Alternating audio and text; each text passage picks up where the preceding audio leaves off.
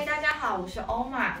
最近大家有没有发现共生公寓大爆发？身旁呢可能有一些亲朋好友开始投入这个产业。那为什么大家对这个产业会这么有兴趣？欧玛今天呢，除了会稍微分析一下呃共生公寓的商业模式，另外呢还会介绍日本两种最新这种主题性的共生公寓，让大家来看看为什么现在会这么流行。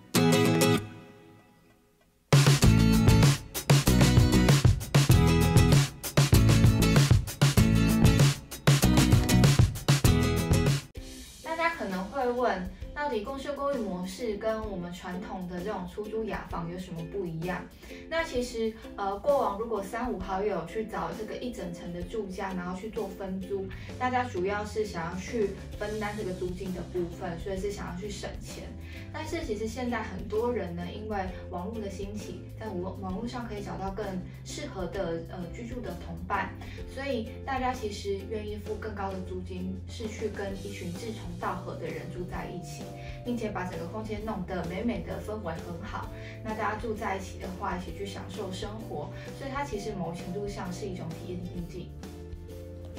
说到体验经济，就不得不提到日本了。在日本，共生公寓非常盛行，也因此衍生出许多主题性的商机。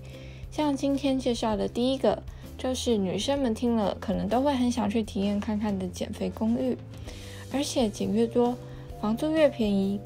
这间位在大阪的减肥公寓，主打女性透过住在一起，以群体的力量减肥。特别的是，房租是以体重来计算。只要房客体重每下降一公斤，就可以减免一千日元，大概是台币三百元左右。反之，如果体重增加，房租也要缴得越多。所以，虽然呃房间内部只有三平大，但是呢也吸引非常多的女房客搬进来。共用客厅使用的是可以抑制食欲的绿色墙面，也看不到舒服的沙发，取而代之的是一些健身器材。为的是强迫居住者运动，但业者也有一个绝招，就是在共用空间放一堆免费随便吃的零食跟饮料，让住户学习如何杜绝这些诱惑外，同时当然也提高了降租金的门槛。另一间是位在东京的猫咪公寓，由动保团体与不动产租赁业者合作，为有养猫咪的租屋族量身打造。另外，还有一种是想体验养猫咪的民众，也可以透过寄养义工的身份，领养动保团体提供的流浪猫，回到公寓饲养。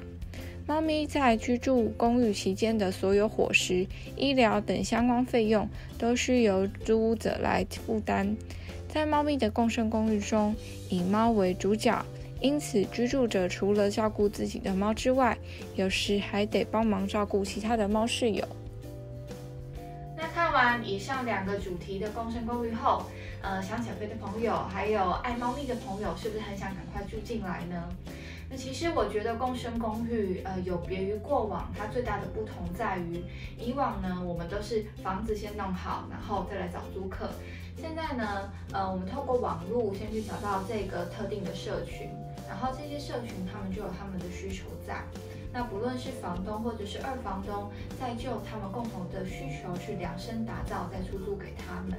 那其实这个就是共生公寓它的最核心的概念。目前呢，共生公寓是以月租模式为主，但是其实它还有存在很多不同的商机。比如说达到一定规模量的话，它可以去做所谓的集体采购，或者是从原本的 co living，然后变化成 co working。甚至是从目前的月租模式转变成未来的呃旅馆日租模式，所以其实呢，它的这个整个商业模式的变化性是非常多的。接下来呢，我们会有机会去采访共生公寓界的领导品牌，然后带大家来看看这些领导品牌是怎么看这个市场的。所以大家一定要记得锁定我们的频道哦。